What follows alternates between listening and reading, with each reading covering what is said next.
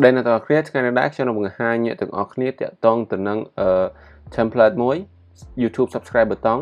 ហ្នឹងហើយដូចរូបភាពហ្នឹងអញ្ចឹងតោះ file ហ្នឹងគឺខ្ញុំដាក់នៅលើ description អ្នកទាំងអស់គ្នាអាច download បានហើយបញ្ជាហ៊ានបន្ទាប់អ្នកទាំងអស់គ្នាត្រូវមានកម្មវិធី Adobe After Effects យ៉ានឹងបន្តមកទៀតខ្ញុំនឹងឧទាហរណ៍ក្នុង Premiere អញ្ចឹងអ្នកទាំងអស់គ្នាត្រូវមាន Adobe Premiere មួយទៀតអូខេតើឥឡូវយើងចាប់ផ្ដើមខ្ញុំខ្ញុំឧទាហរណ៍តើតើនឹងការបើក file ខ្ញុំអត់ save ទេ នេះអ្នកទាំងអស់គ្នាពេល download មកអ្នកគ្នា extract មកគឺរបៀបហ្នឹងវាមាន3 version នៅហ្នឹងណាឥឡូវខ្ញុំបើក version CC 14អូខេអូខេពេលអ្នកទាំងអស់គ្នាបើកមកគឺអាចនឹងចឹងដែរបើមិនវាខុស version ចុចដូចខ្ញុំចឹងទៅដល់ពេល file នេះគឺវាតែតទាំង logo អីឬក៏និមិត្តសញ្ញា finger អីហ្នឹងគឺវាខុស location អញ្ចឹងវាអត់ស្គាល់ទេយល់អត់អញ្ចឹងអ្នកទាំងអស់គ្នាជំហានបន្ទាប់អ្នកទាំងអស់គ្នាត្រូវ replace logo របស់អ្នកទាំងអស់គ្នាយកទៅដាក់អូខេ ឥឡូវខ្ញុំចាប់ផ្ដើម replace logo របស់ខ្ញុំចុច click ស្ដាំលើនឹងមកហើយ replace full tab នេះហើយយក file ហ្នឹងមកអញ្ចឹងខ្ញុំ logo របស់ខ្ញុំនេះហើយខ្ញុំយក PNG អត់មាន background ហ្នឹងពេលដែលខ្ញុំ refresh ចឹងហើយគឺវា found អឺវា find ឃើញទាំងអស់នេះវា found file ផ្សេងផ្សេងដូចជារូបកណ្ដឹងសញ្ញាដៃហ្នឹង logo ហ្នឹងអញ្ចឹងឥឡូវខ្ញុំចុចឲ្យវាដើរអ្នកទាំងនឹងឃើញ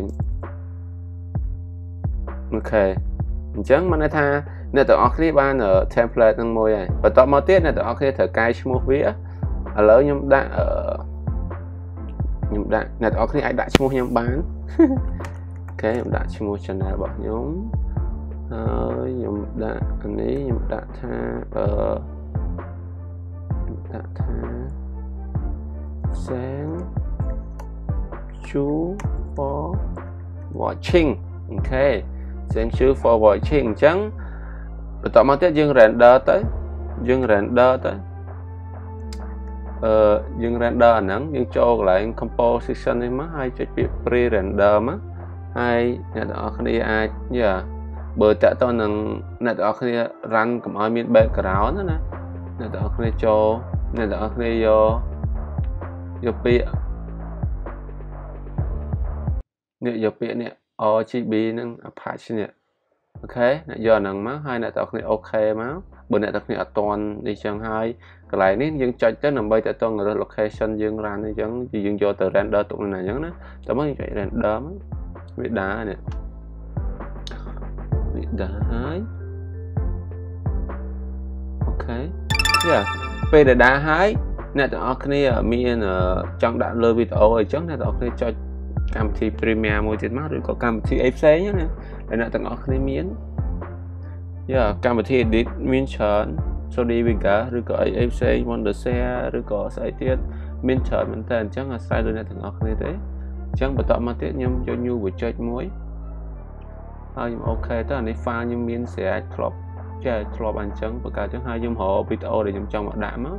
ខ្ញុំវីដេអូខ្ញុំខ្ញុំ download វីដេអូខ្ញុំយកវីដេអូនេះមកមកឧទាហរណ៍ យ៉ាហើយអ្នកទាំងអស់គ្នាអាចបង្កើតអឺ sequence ដោយខ្លួនឯងក៏បាន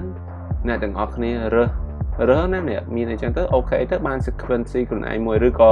មានវិធីមួយទៀតអ្នកដល់ click ស្ដាំនៅនេះមកអ្នកទាំងអស់គ្នាយក use sequence from clip ហ្នឹងអញ្ចឹងវានឹងបានពីបង្កើត sequence មួយត្រូវជាមួយនឹង clip វីដេអូរបស់អ្នកទាំងអស់គ្នាស្អាតអញ្ចឹងអ្នកទាំងអស់គ្នាទៅស្វែងរកអា file ពេលអ្នកទាំងអស់គ្នា render ទុកនៅណាមិញណាអូ